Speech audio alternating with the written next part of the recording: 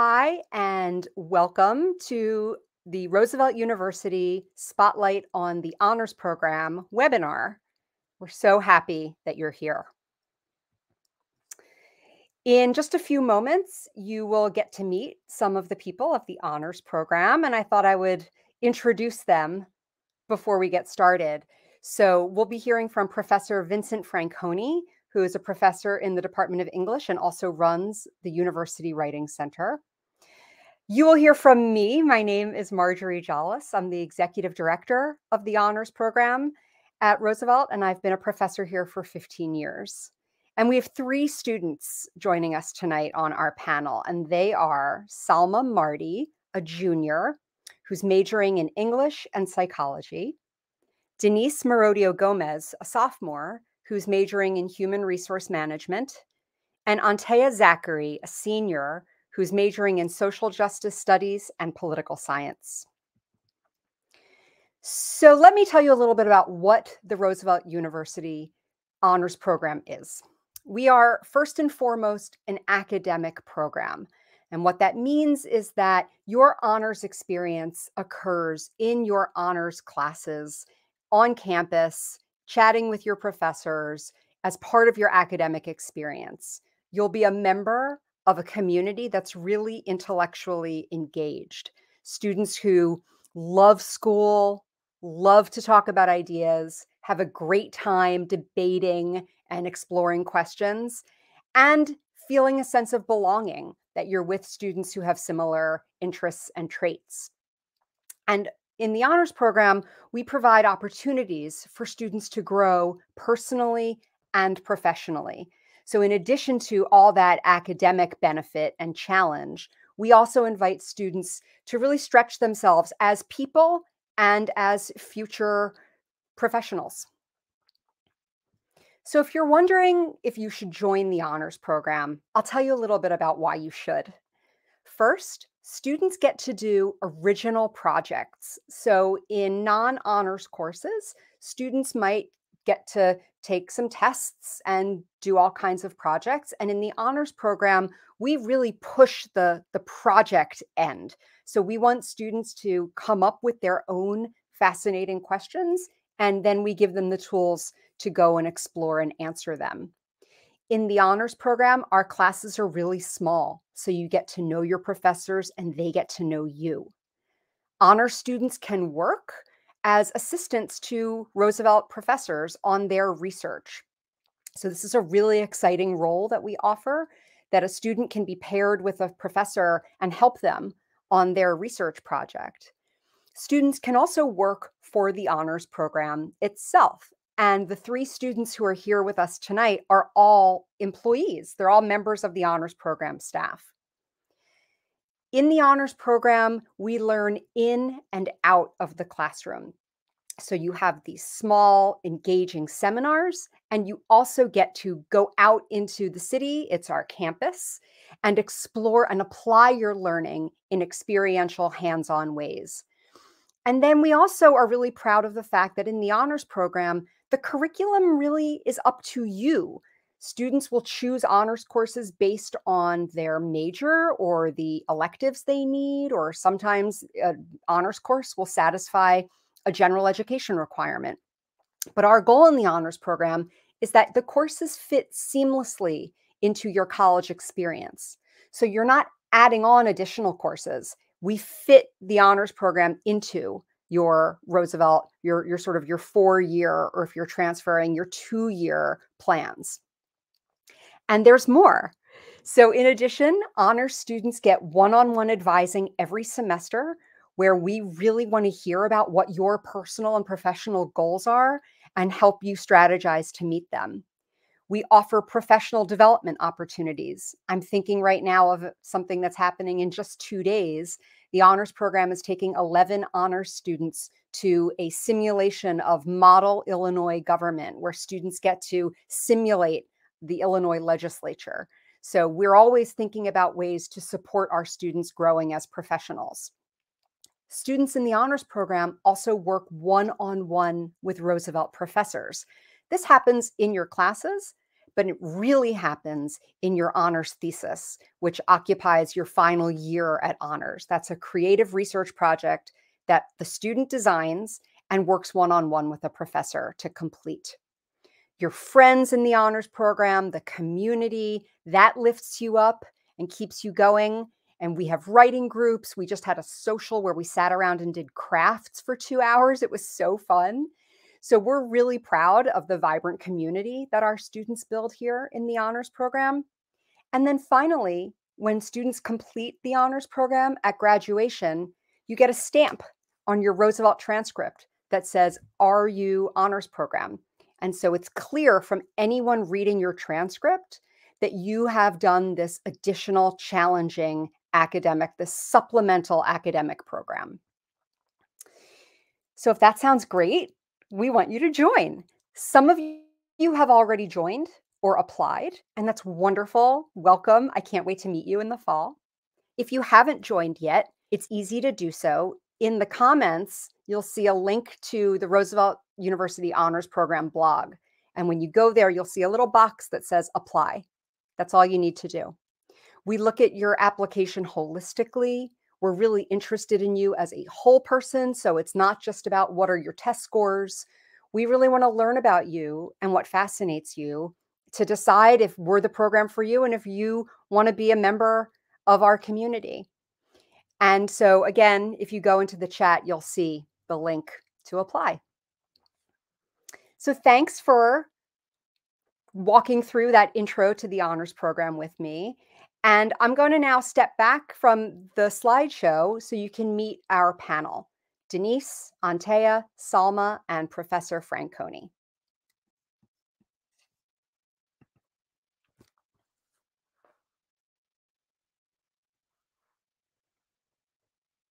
Hi, everyone. Hello. So, hello. So I'm going to start us off with uh, an easy first question. And I thought I would go to Antea first and ask, why did you join the Roosevelt Honors Program? That's a great question, Marjorie, especially I think for me as a transfer student.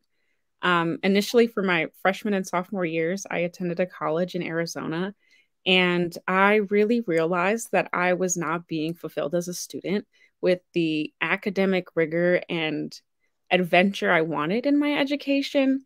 And I really wanted to pursue a school that would that would fulfill that desire in me. Mm-hmm. Um, and that's that's really how I could best define it. Follow-up question. Is it what you expected? It's more than I expected. How so? Tell us. Because I think too, while I thought I had an idea of what I wanted. I knew it was more than I was getting. Um, but when I first was um, looking at Roosevelt and being looking at Roosevelt, actually, I had not first been presented with honors. And it suddenly appeared like after I got in that the honors program approached me. And I was like, whoa, now that's I was looking for academic and rigor, but I thought that would just come in applying to Roosevelt, not also in this additional community I could join. And so I think that's really what was unexpected. Oh, I love that. That's great. Salma, what about you? Why did you join honors? So, um, when I first like was thinking about Roosevelt University, I didn't really know about an honors program, and I didn't really know how that like worked in colleges. Um, I thought that it would be like high school honors program or honors, which I did not like at all because it was I felt it was way more like based towards like test scores and like stuff like that. Um, so I had gotten a call from um, someone who had been working in the, the, honors program at that point, and I think I talked to her for like 20 minutes just about like my concerns about like it being too hard or like not being able to keep up and stuff like that. And she just like assured me that that would not be the case. It would be the opposite, if anything, because you would actually be getting more help um, than you would in just like regular classes. Um, so I think just from her, I was able to like solidify like wanting to like do that. Um, but yeah, and then here I am. Yay. I'm so glad you brought that up because that is something that is important to us to convey to students who are thinking of coming to Roosevelt and are thinking of joining the honors program. For a lot of students in high school, your only experience with honors is that high school model like AP or honors tracks where it's really about doing extra work, more work. Um, those can be somewhat competitive environments. And so we're always really quick to explain to people it's not like that at the college level and at Roosevelt, especially. It's much more about a community that is super supportive, where we're really just excited about your own curiosity and we want you to feel empowered to go and explore and fulfill you know sort of answer your questions and so i'm so glad that that you heard that and were able to make that choice denise tell us about how, what's honors been like for you um, is it what you thought it would be is it different um, honors has been really good to me. Um, when I first joined, I had this. I attended a webinar where they explained to me that it was in like high school honors, right? But despite that, I had like um, a little doubt. I was like, mm, maybe, you know. But it took my first semester, my first honors class, to realize that it was very much different from honors in high school. Um, it was more about, you know, being creative, exploring new ways of learning, um, building um, a strong foundation for um, your college experience. And yeah. It's all those things. I love every word you just said in your description. Professor Franconi, let me ask you this. How would you define or describe the typical Roosevelt honors student? Um, in my experience, they're all um, different from each other, so it's it's hard to like be as reductive as to say this is a typical Roosevelt honor mm -hmm. student. Um, look at the three of them on the panel today. Are they they're very different in their own ways and unique individuals. Um, but while they're not necessarily different from non-honor students, um, what they do have in common because of the program kind of fosters this is um, a willingness or an excitement to join a community and be a part of, of something like that.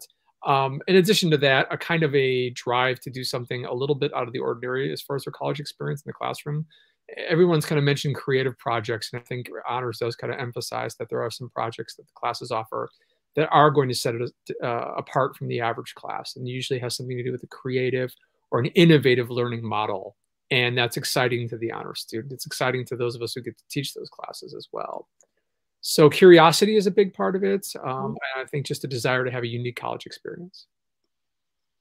Yeah, for sure. And I see the students nodding. So that sounded like a spot on spot on uh, description. Since you teach often in the honors program, and we're so grateful that you do, could you tell us about the classroom environment of an honors course? Um, I when I do it, I tend to favor a lot of discussion based for some courses, which isn't something I'm as comfortable with, frankly, in a non-honors environment. So I do like to have the students kind of feel like they can contribute equally um, I want that in all my classes, but in honors, that's especially important to me. So I really do like that. And um, that creativity that we talked about is definitely mm-hmm. big. I think my favorite project of all time is, um, maybe I'm getting ahead of myself, is in honors classes. It, it does tend to allow the students to have a little bit more of like a field research elements in contribution. That's, uh, I think, a little bit more fun and innovative. So it, it, it, to me, it really is about involving the students as much as possible in the actual kind of co-creation of the class, if that makes sense. It does. And it's thrilling. I love that. So let me ask the students, and I guess I'll start with Antea. Is there, what's been your favorite honors thing? So that could be an assignment you've done, an experience you've had, a place you've gone, a friend you've made. What would you say is at the top of your list of favorite honors things? I think on the top of my list would actually be what really hooked me on honors. And that's when I first was talking to the director, Sarah Maria Rudder, and she introduced me to the honors exchange and was trying to kind of lure me into honors with that. And I was like, oh, you're really luring me, Sarah Maria, because it was the honors exchange where we focused on um, Jane Addams, Jane Byrne, the Janes of Chicago, essentially. Um, and it was probably the most beautiful learning experience I ever had. We got to sit with historian Dr. Lynn Weiner at Hull House, which is what Jane Addams created and founded. And oh. um, I remember just sitting with her, and she at one point prompted us with this question and said, "What, what do you think these walls have heard?" And it was the first time I had really like contextualized history as in, in the space around me and that seems so um, why didn't you do that sooner? But it was so revolutionary in that moment, um, thinking about history and space and what's been created in time. And I think that would definitely be my favorite memory because it was also very collaborative. We did it with UIC. Yeah, that's right. Yeah, that was an incredible experience. And I really love how you've emphasized how immersed you were, right? So in the honors program, we like to take you to places. We just did a tour of the Auditorium Theater. We're about to do a tour of Chicago neighborhoods through the Chicago Architecture Center. So we're really all about classroom learning. And we like to take learning out of the classroom and give students that experience of you can have an intellectually thrilling experience in a non classroom way. So it could be going to Jane Addams Hull House Museum. It could be sitting together and watching a movie and talking about it, right? We're all about making learning fun and experiential. Salma, how about you?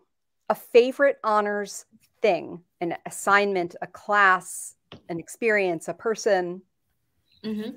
So this was actually um, in Franconi's class last year um, in English 102, and this was this was with Denise too.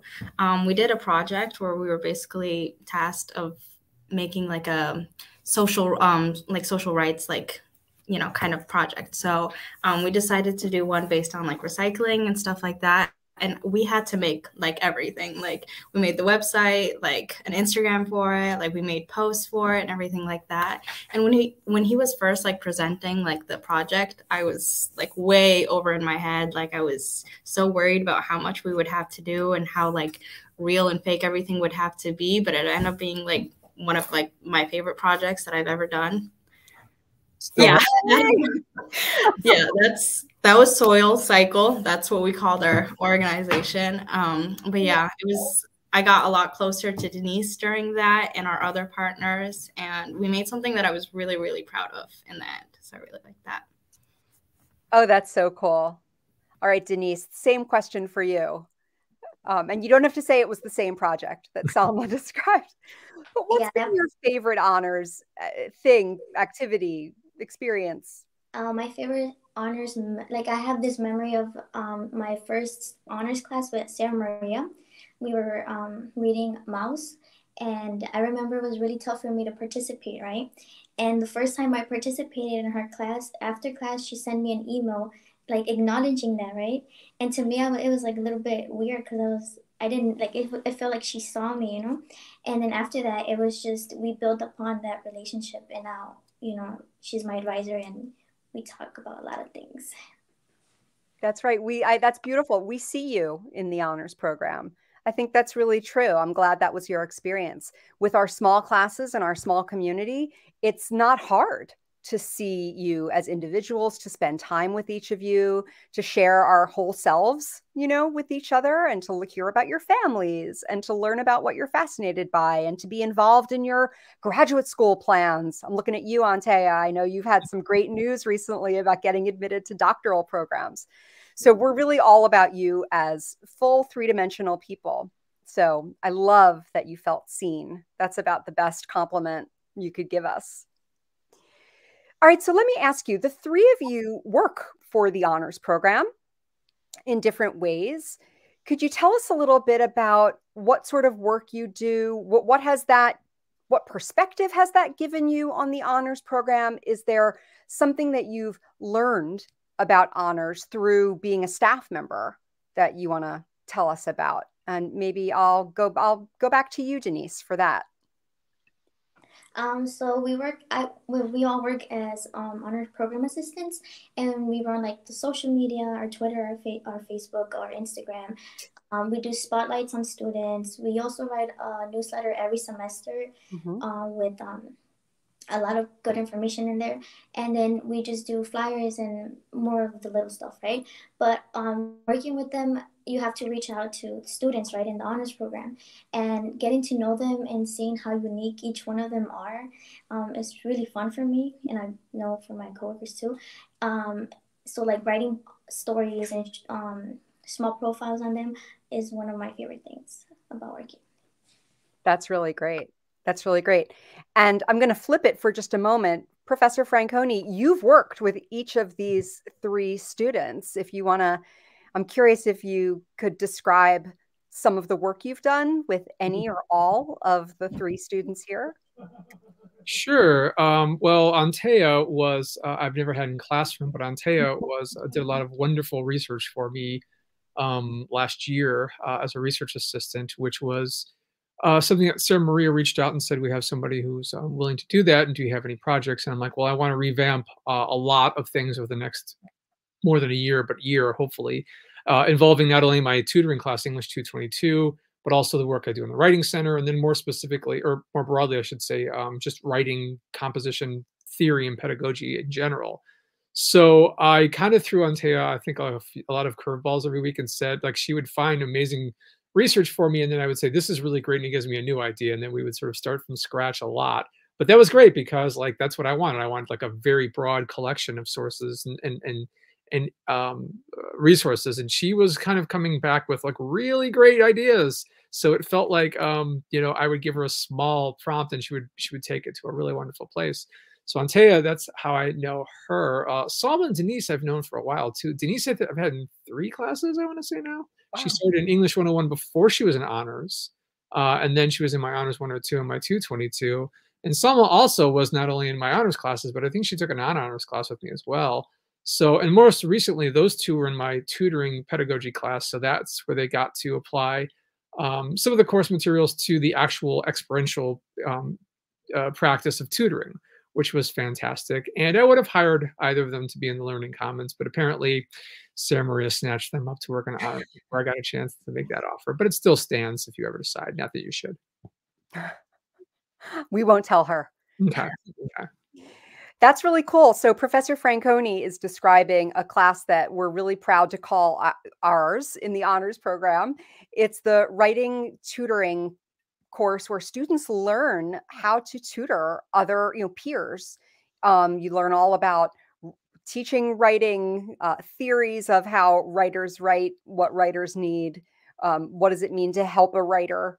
Um, we are really proud in the honors program that the students who are hired to be tutors, some of them are, are honors students and they came through this course that Professor Franconi teaches. So that's one example, one of many that we've heard already tonight about the kind of activities that go on in an honors course. They're active, dynamic environments, those classrooms. They're not lecture based. It's really about hands on learning and being pretty active. As Professor Franconi said, you know, co creator of your own your own learning together. Salma, let me ask you something. Um, so it matters to us in the honors program that honor students are not isolated from the rest of the university. So for those watching, I'll explain that honors courses they make up about 20% of the classes that you'll take at Roosevelt University. So you're not shut off from the rest of the university. In fact, you're really immersed in the university. And so, one question, and I'd love to hear Salma's answer, is what are, how has your honors experience helped you be a strong student in your major? Is there something you've learned in honors about learning and curiosity and applying yourself that you bring to your life at Roosevelt outside of honors? Yeah. So I think maybe the biggest thing that I've like earned from being in um, honors classes is I'm not very good at like speaking to classes, especially big classes. So when like all of our on honors classes are basically like discussion based and much smaller classes, it made it way easier for me to like start getting comfortable with like sharing my mind, speaking my mind, and stuff like that. And also just like helped me learn like a more like i guess productive way of doing it. Um, i'd say like from sarah maria's first class we learned about like the importance of asking questions and like asking proper questions to get like proper answers and like things like that. And also just like how to how to like I guess analyze things in certain ways. And um, yeah, so that's, I think Denise mentioned this earlier about how the honors program isn't necessarily harder. It just teaches you to learn in a better, maybe more productive way. So I think that shows a lot in other classes I'm taking right now. Like for example, the um, class I took with um, Vincent Franconi that wasn't honors, but still had that kind of feel just because of like the discussion and also just because he's an honors teacher as well. So Right, right. Oh, I'm so happy to hear that, Salma. That's a great description. And we really care about students' experience at all of Roosevelt, not just in the honors program. And so to hear that being in honors class has taught you skills that you can then rely on in all kinds of environments, honors or not, that really makes me feel like the program is doing what we set out to do, which is for you to be really, really active in your entire Roosevelt experience. So, speaking of your Roosevelt experience, each of the three of you are at different stages. Mm. So, Antea, for example, you're in your final semester, which breaks my heart, of course, but I'm so happy for you. So, you're writing an honors thesis, whereas Salma and Denise are, you, you'll get there, but you're not there yet. And so I thought I would ask Antea, what's it like to be in your final semester writing an honors thesis? What what's it like at this level, your final semester in honors? Yeah, I guess it's kind of funny because and I was thinking about this today. I was really thinking about how I haven't spent much time at Roosevelt and much time specifically in the honors program, but it almost feels like I've been a part of this community forever and I was supposed to be a part of this community forever. Um, my thesis process has really been probably one of the most incredible writing experiences ever in school, which I think is because the honors program, um, specifically in the honors 398 class, we were allowed to formulate questions really specific to our interests, um, as far out as that question may go. Um, and I get to have this incredible process where every day I'm actually engaging in my thesis writing, whether it's talking to the directors of the honors program about my thesis every day I walk into the office or seeing my mentor once a week. But it's almost like my thesis is like a work in progress and it's like paralleling my experience and paralleling my journey towards the end of this program. Well, it's not every thesis writer who says, in mid February, I'm having an amazing uh, time writing my honors thesis. Some do. And I'm so thrilled to hear it. It's really, um, so for those watching, the honors thesis is a capstone. That means it's a time for students to take stock, to produce an original piece of work, as Antea said, through the guidance of a faculty mentor. And it's something you can own in a deeper way than an assignment that, let's say, a professor gives you those are great too but a thesis is really in a in a league of its own it's a really special experience so i'm thrilled thrilled to hear it. Let me ask uh, salma and denise the same question which is can you think of a time in your honors experience where you took a risk? Um, that could be an academic risk a personal risk a professional risk. What was that like for you? Maybe denise let's hear from you um, I think my biggest risk was working for the honors program because it was my first like real job, I guess, and it was scary because um, Sarah Maria and Marjorie really like trusted me to do these things. Of course. And I kind of like went for it, right? And they were nothing but supportive and encouraged me to like keep going, me and my other coworkers. So that was like a big risk that I don't regret taking because it's helped me get here. Oh, I'm so glad. Salma, how about you? Well, there's so many. Like I, I'm having trouble figuring out one, but I'd say maybe um, first semester when I was taking first year success with Sarah Maria, um, we did a project called a dossier, and it was basically just like a presentation of like um, something in your life, I guess. Um, and Sarah Maria had asked me to present mine at the senior thesis for that um, like semester and i at first i really didn't want to because i hate presenting especially like over zoom and like things like that.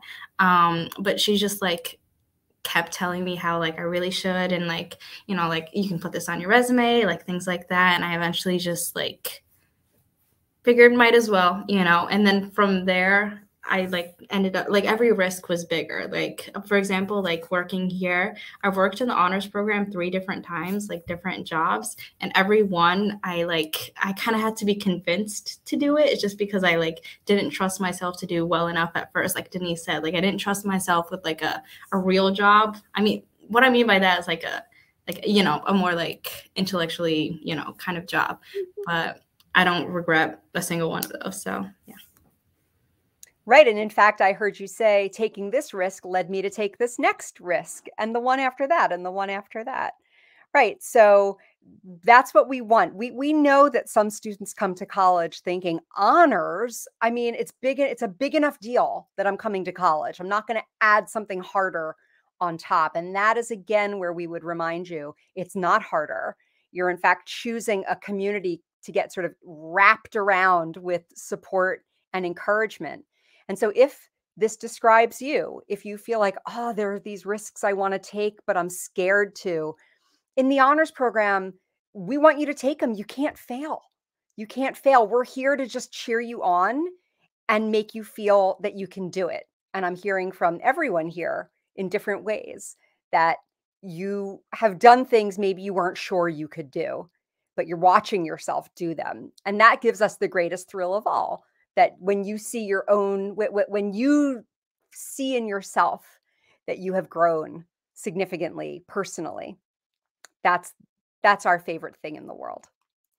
So I have a question for everybody on the panel. Same question, and I'll start with Professor Franconi.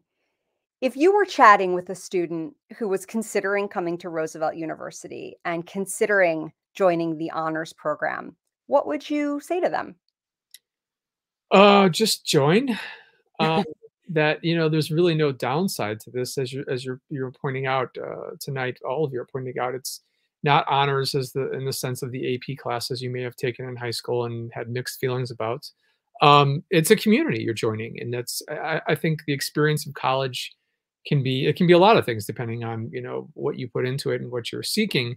But if you're seeking community, I think it's definitely you're going to find it in honors. If you're thinking uh, intellectual engagement, that's a little bit different than sort of the average. I think you're absolutely going to find that in honors. And these are the things that I uh, didn't realize I was looking for when I was a student, but I would have definitely benefited from, frankly, because I think it's always easier if you have community and you have um, you know resources that I think honors provides. So there's no real downside to it.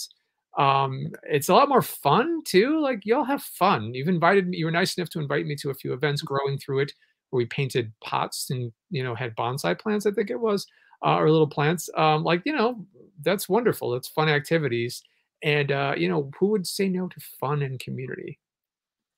Amazing response. Antea, how about you? What would you say to a student who was like, mm, maybe, I don't know?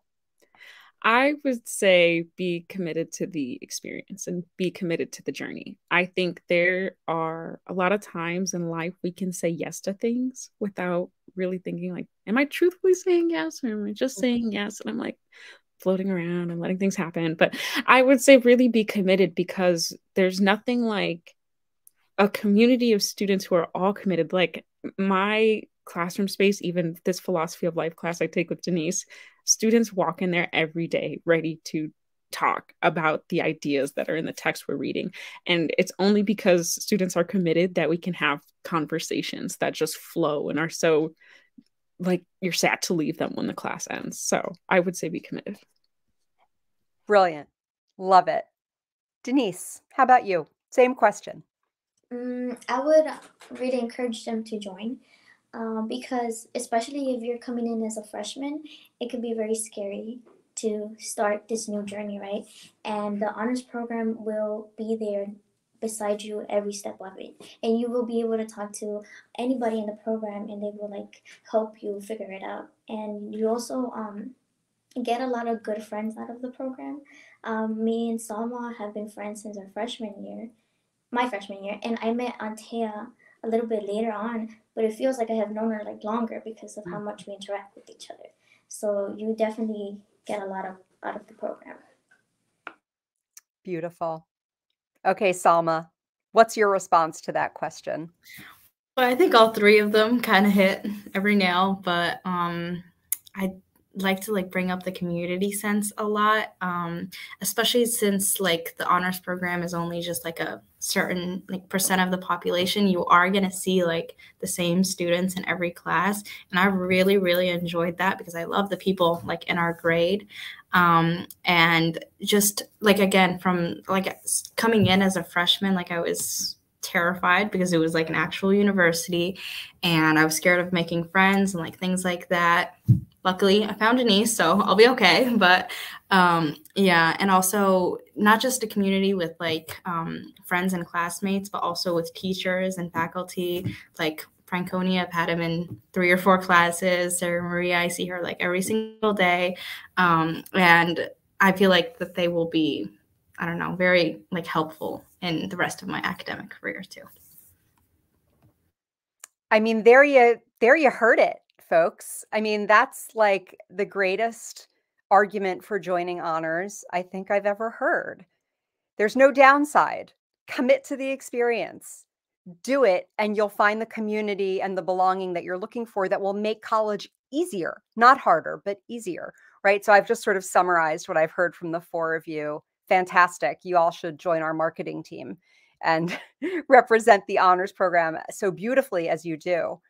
So we thought we would, if there are any questions from anyone watching, um, open the floor to hear them and answer them.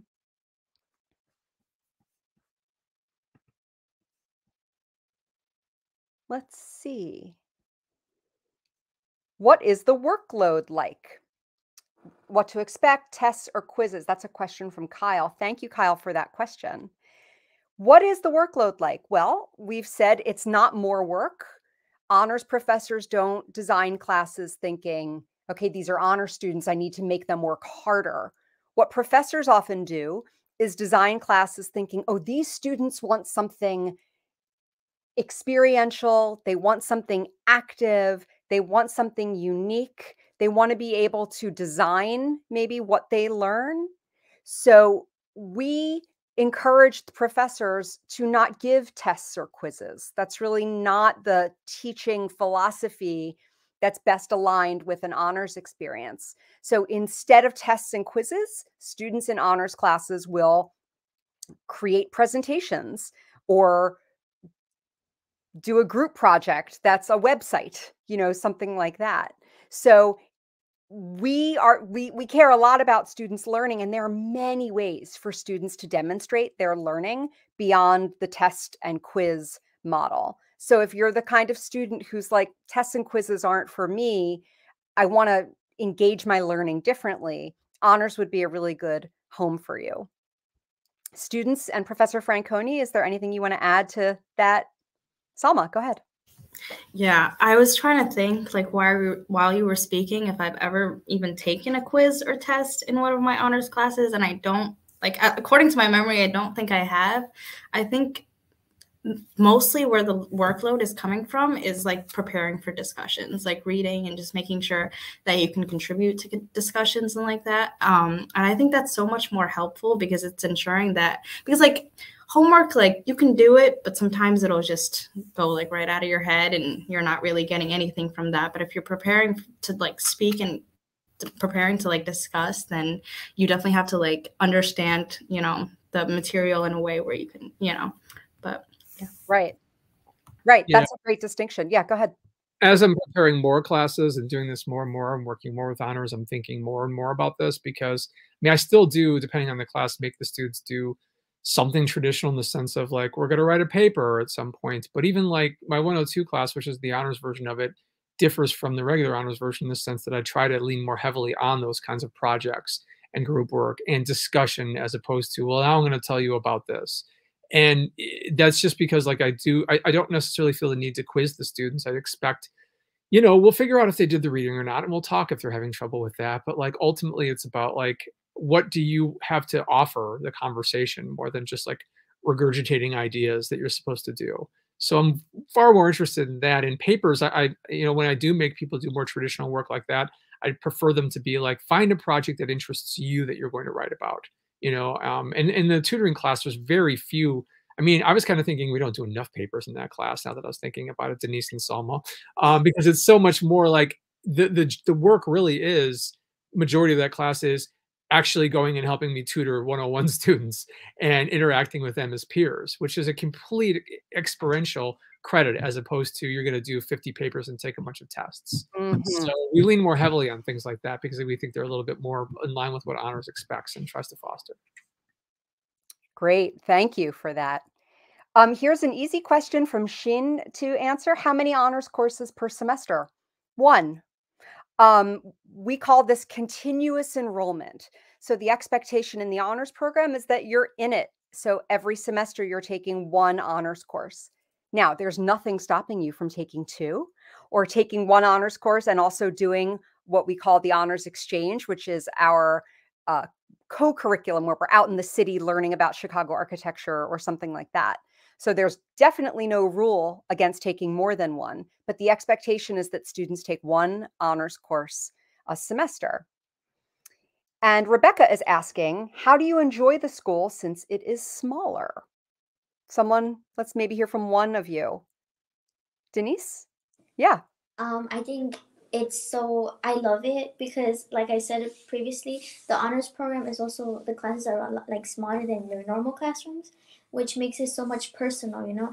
And you finish the semester knowing everybody in that classroom and talking to at least uh, to all of them at least once and that just like continues continue continues. So you see them again and like in the hallways. So you start building those relationships and they last all year. They do that's right salma go ahead um, it was something you said earlier that kind of stuck with me. I think it was something along the lines of like um, the city is our campus or something mm-hmm. like that. Um, Roosevelt University is like right in the middle of downtown. So um, there's a lot to do like out there. And um, I'd say like like experiential classes or like um, courses like the honors exchange for that where like we had an assignment where we had to go to like different um, different city or neighborhoods and like learn about them and things like that and for the project i was talking about earlier with franconi we were tasked with like researching a different um, like organization and learning about them too. So I just really like the way that like um, our classes like involve Chicago as like kind of like a ground ground space too. Salma, that's such a great comment because it picks up on a question that Denise wrote in, which is Is the honors program active with community outreach programs? And we absolutely are. So sometimes there's community outreach that's going on at Roosevelt University, and honors makes the connection. So we have social justice institutes at honors that are working or at Roosevelt that are working on all kinds of things. And we will often recommend our students, we will send an email saying, you got to sign up for this fellowship, right? I'm looking, all, all of these, all, the three of you have done really interesting things. So, yes, community outreach is a big part of the entire Roosevelt University experience. In fact, I would go out on a limb and say, I don't think a student can spend their entire college experience at Roosevelt and not have a community outreach experience of some kind. There's one more question I want to ask, and this is from Joseph, who asks are athletes typically involved? Is there workaround with practicing games? Also, thank you. Thank you for coming to the Great Forum. Yes. So we have many students who are both in the athletics program and in the honors program. Lots of crossover. And we're very comfortable with students who have travel schedules and practices and games. In fact, I would say that's true of all professors at Roosevelt. We're used to getting information about a student who says, I'm on the softball team. This is my schedule. And those students get so much support, athle- athletic students. So we work with your coaches or your academic support team to make sure that you're getting your work done. So it's not like an either or. I would say I can think of many, many students who are both in the honors program and in an athletics program. Wish Roosevelt would move to Crystal Lake. I see that. Come to Roosevelt in the Loop. It's a thrilling place to be, as Salma said. Chicago really is our campus. If you come to Roosevelt University, you will learn about this city in fascinating ways. Not the tourist story, but the real, true Chicago experience that is really different depending on where in Chicago you are. And we don't shy away from the political complexity and histories of our city. In fact, we we we really lean into what makes this city so thrilling and so complicated. Um, so thank you all so much for joining us for this webinar. You can reach out to me anytime at the Roosevelt University Honors Program. Our email address is honors at roosevelt.edu. Really, really simple. And if you go into the chat, you'll see at the top the blog where you'll learn about us, you'll read a little bit about the honors program, and you can apply to join us.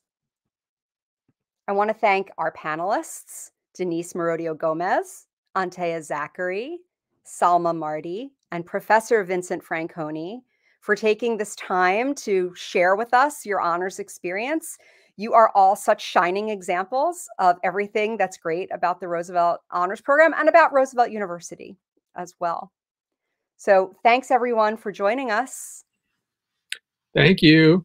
Thank you. Good night.